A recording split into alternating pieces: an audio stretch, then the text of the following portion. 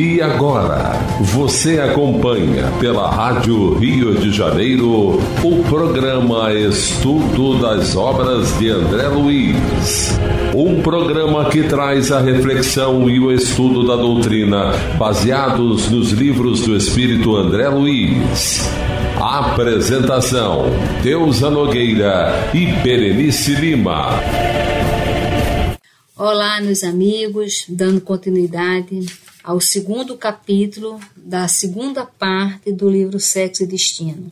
No nosso livro, a página é 186, nós estamos vendo uma mudança do André Luiz muito grande, e essa mudança de André Luiz, que a gente vê que a cada livro o André Luiz progride. Ele progride por quê? Porque ele amadurece, ele, ele está aí conquistando e vivenciando a maturidade emocional, psicológica e espiritual. E olha que ele já passou por altos e baixos, por vários tipos de fraqueza, mas cada fraqueza dele em fazer uma análise errada, às vezes por um viés materialista, ele cai em si e volta e tem e se esforça para ter uma visão espiritual da situação.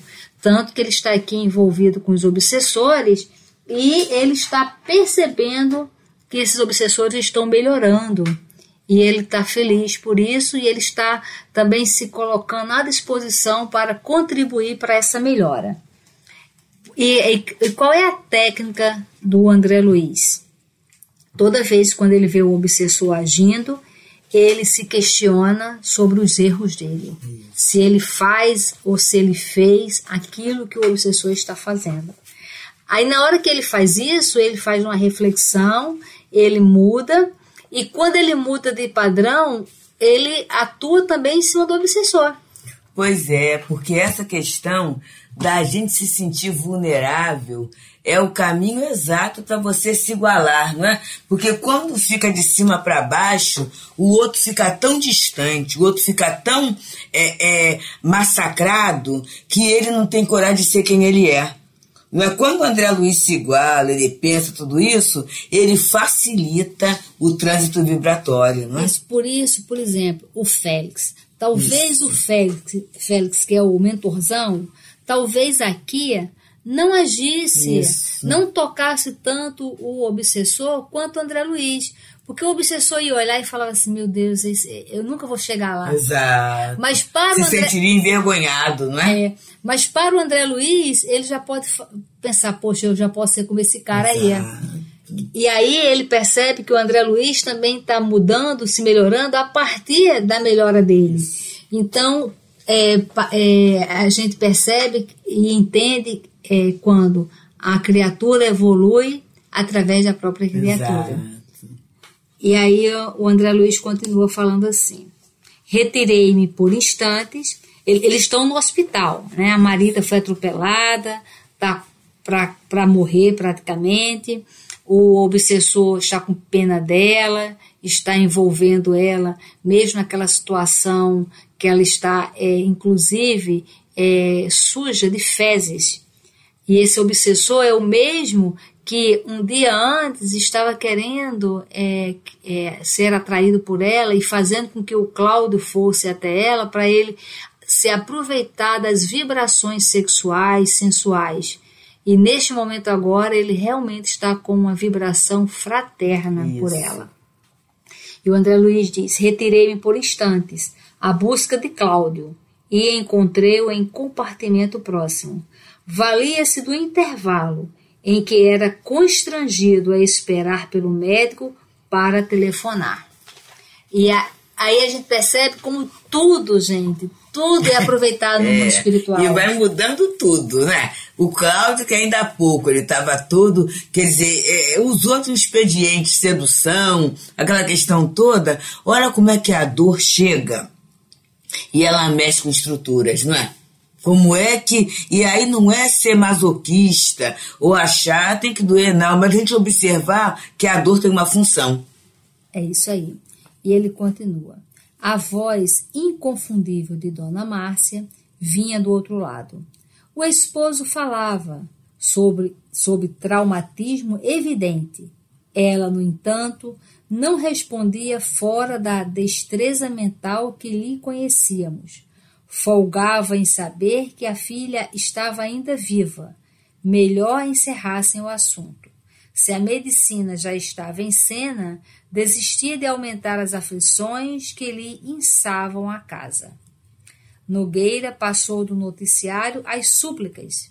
Seria conveniente que ela viesse amenizar a situação.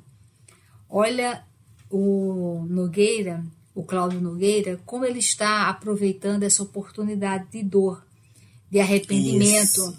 como ele, gente, no instante, ele aqui também está na estrada de Damasco, está Isso. tendo a experiência. Nós vimos que Saulo teve a sua experiência na estrada de Damasco e aproveitou. O obsessor, o, o, né, também teve o Moreira, teve na, no momento anterior essa oportunidade, esse chamamento e aproveitou. E agora o Cláudio também está aproveitando. E quantas vezes nós estamos na estrada de Damasco, a vida nos convida para uma mudança de vida, para uma mudança de rota, com o objetivo da nossa evolução, da nossa transformação, até de uma maneira mais rápida. Isso. E nós negamos. E nós espíritas precisamos ficar alertas com uma situação.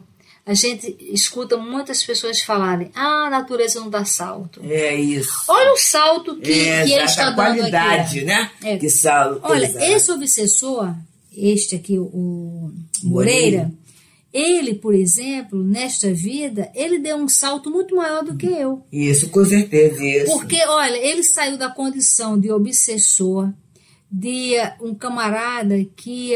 Ligado só aos sentidos, né? Exatamente. né? A bebida, ao, ao sexo, ao vício, ao né? comprometimento isso, moral. Isso. Ao orgulho, né? Ao orgulho. É tudo, orgulho, tudo. A uma pessoa assim voltada para o mal. Isso. E olha a mudança que ele fez de um dia para o outro, literalmente é, de um dia para o outro, outro.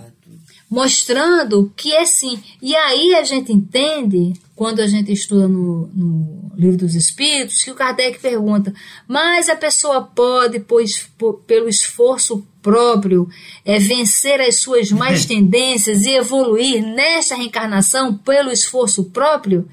E os Espíritos respondem: sim com esforço muito significante. É, é isso que é uma pergunta, é pequenino. É, a gente, é porque é... a gente que vai no morno, é. né?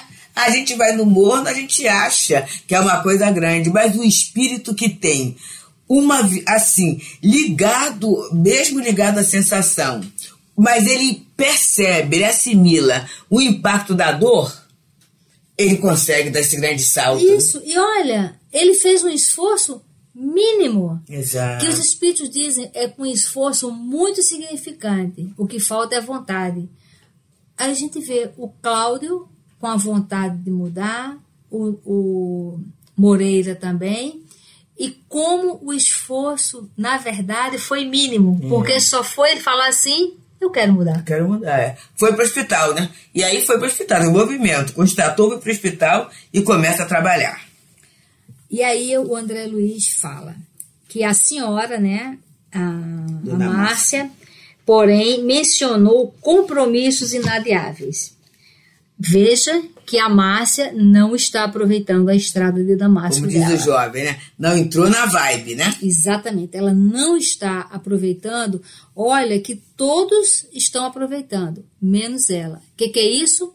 Livre arbítrio. Exato. Mostrando, inclusive, que quando Jesus propriamente né, esteve aqui entre nós e teve contato com tantos e nem todos mudaram. Por isso que Félix, lá naquele capítulo, no começo da semana, na segunda-feira, ele falou né, que é, tentaria uma moratória, né?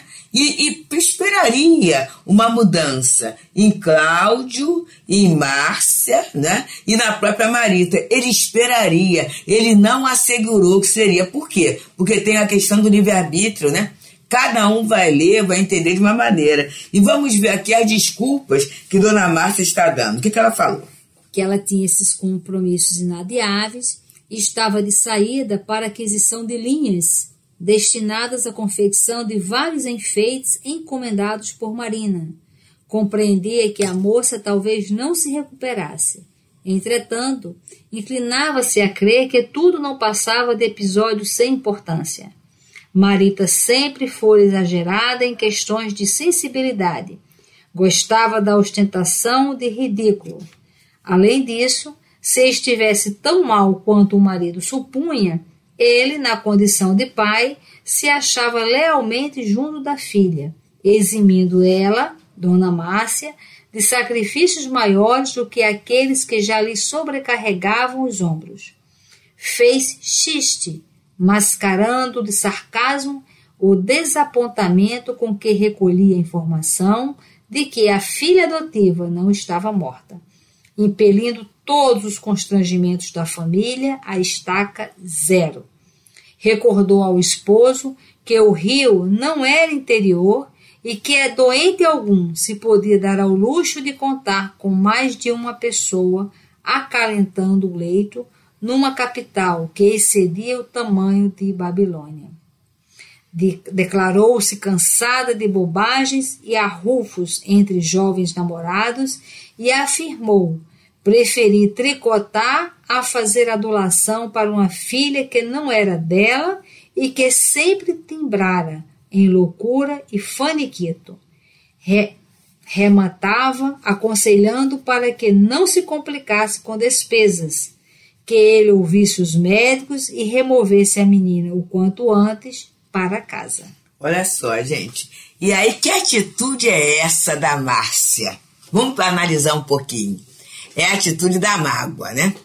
Da mulher traída. Vamos lembrar como é que Cláudio tratava a Márcia? Naquele dia que ela falou dos sacrifícios que ela estava passando na vida e que tinha ido ao médico, né, ao ginecologista, e que o ginecologista falou com um problema, lembra que ela falou, falou, falou, falou, falou? E aí o Cláudio falou assim: é só isso? e deu lá um dinheiro. Então, ela, na verdade, ela foi acumulando mágoa, né? no próprio momento que ela chega a casa, a pensando a dona Crescina, e observa aquele, aquele quadro e que ela fala, Cláudio, Cláudio, a que ponto nós chegamos, né? Você está chegando a, a, a, a, querer macular sua própria filha. Então, na verdade, a, Mag, a, a Márcia, a dona Márcia, ela está guardando a mágoa. É uma coisa muito interessante, meus amigos, para a gente começar a trabalhar no nosso sentimento. Esse momento que poderia ser assim como você falou, né, Berê? A estrada de Damasco para ela, o momento de, de dar um salto de qualidade. Em função da mágoa, ela se mantém. Porque é claro que entre um doente e comprar linha para tricotar, o doente seria melhor. Mas naquele momento não é bem Marita que ela está querendo ferir, não. Ela está querendo ferir Cláudio. Como queria ser bem feito, né? Você não arrumou essa confusão? Então agora você se vira e vai acertar sozinho disso. E quantas vezes, meus irmãos, a gente vê um insucesso a dificuldade no setor, e você está vendo, perfeito. Se eu tivesse ali, estava tudo certinho. Agora escolheram assim, vocês que se arrumem. Como é que a mágoa ela é má conselheira, é má companheira, não é? É verdade. E aí nós estamos vendo uma situação numa casa onde tem é, três encarnados, né? aliás, quatro. O, o marido e a esposa, que é o Cláudio e a Márcia, com duas filhas, Marita e Marina. E dentro dessa casa nós vemos também dois obsessores. E aí acontece esse problema da menina é, ter esse acidente, que não estava no planejamento reencarnatório dela, fruto do livre-arbítrio dela de sair desarvorada pelo meio da rua. Mas, como os espíritos utilizam todos os nossos caminhos, todas as nossas decisões para proporcionar oportunidade de mudança para o bem, é, e essa, esse momento dela tá para desencarnar, quem é que aproveita? Olha, os obsessores aproveitam. Isso. O Cláudio, a, que também era um obsessor encarnado, Exato. aproveita. A Marita, ela também vai aproveitar. a, a, o André Luiz está aproveitando para crescer. Nós que estamos estudando, cada um aqui Opa. vai tomar uma decisão se vai a, a entrar nessa onda e vai aproveitar isso aqui para fazer uma reflexão e também mudar a sua postura de compreensão, de decisão, de caminhada. Se nós todos que estamos na mesma estrada de Damasco, aí nós vamos ver que cada um é, aproveita de formas diferentes. Exato, do seu é. jeito, né? Nós agora estamos tendo a chance de aproveitar isto para crescermos sem passar por essa dor. Exato.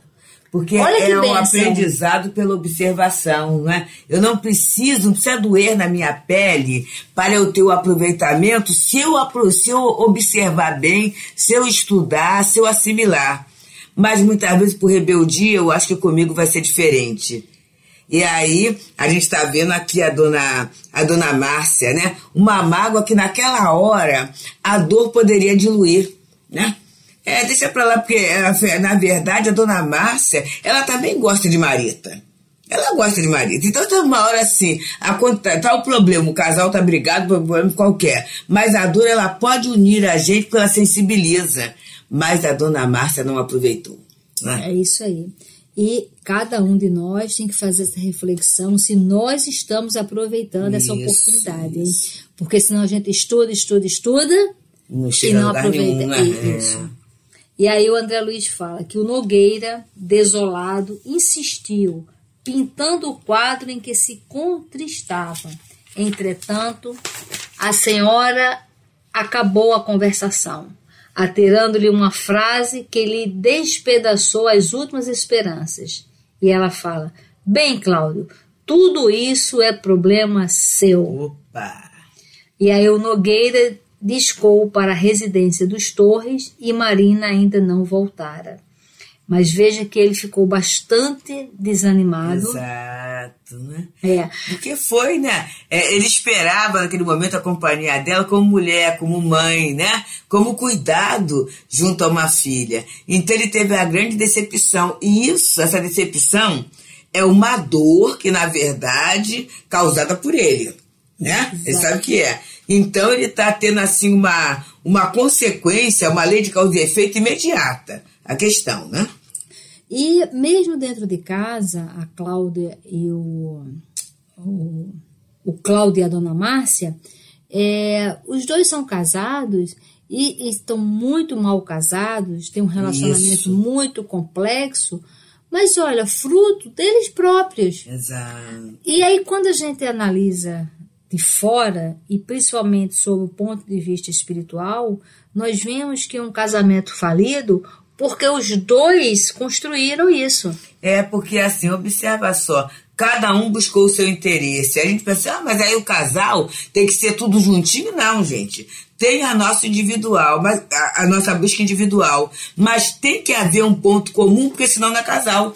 É isso é? aí. E quantos casais eles estão juntos apenas fisicamente? Isso. Mas os interesses são diferentes, a, inclusive a afetividade é diferente, um busca de um jeito, outro busca isso. de outro.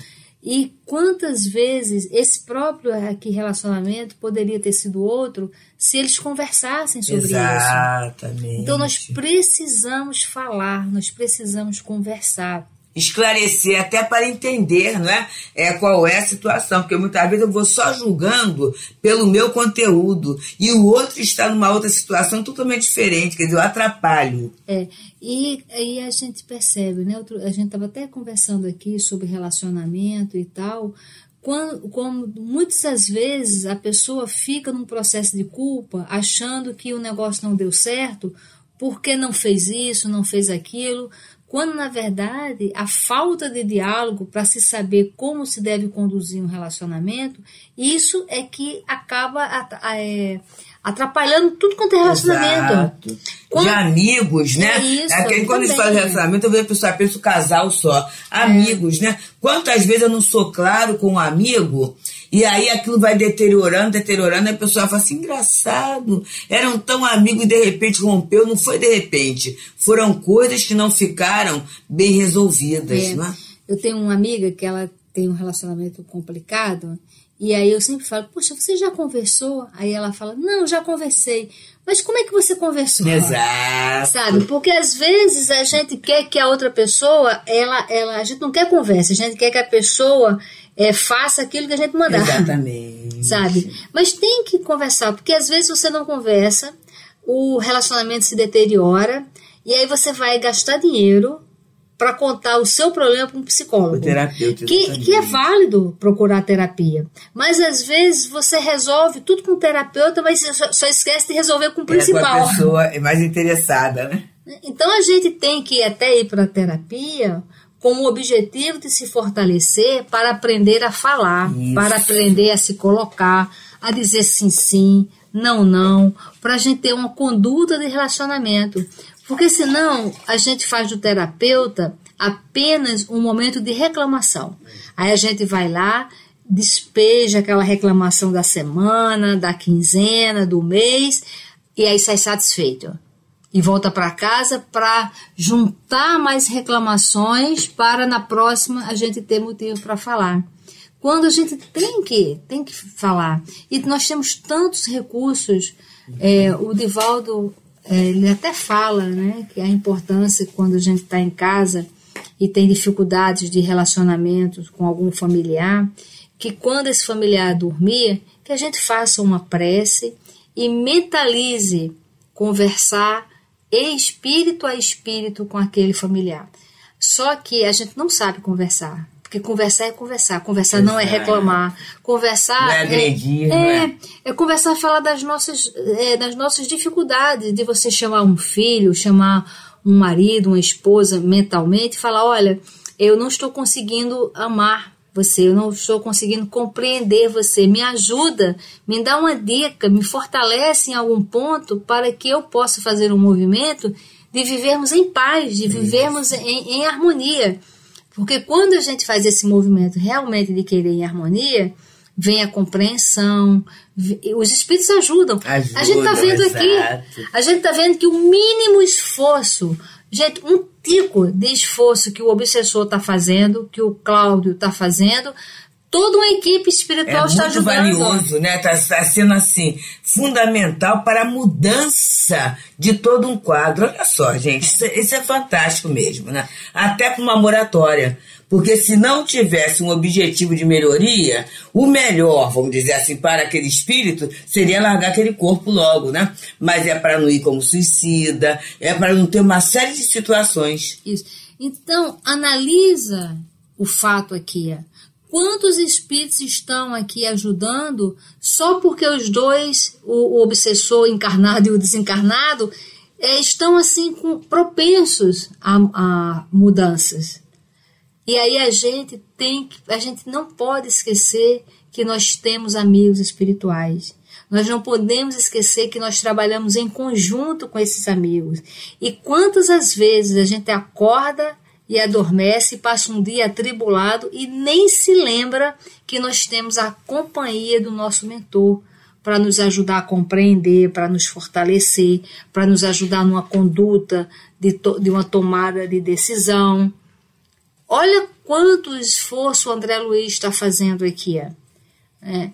Olha quantos, quanto esforço o Cláudio está fazendo Isso. para mudar e como ele está é, ecoando né, para cada movimento dele, como os espíritos ajudam.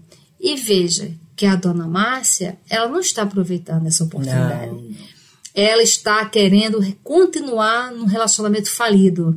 Porque nesse momento seria o momento dela fazer, se ela entrasse em prece e pedisse ajuda, talvez nesse momento ela e o próprio Cláudio se fortalecessem na união. não é? Exatamente, e resgatar. Resgatar o passado.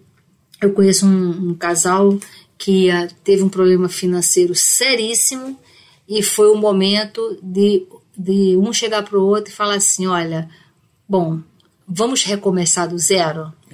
E eles começaram a se reconhecer como na época de namorado. Isso depois de 30 anos, mostrando que é possível, sim. Claro que é possível essa descoberta, esse reencontro.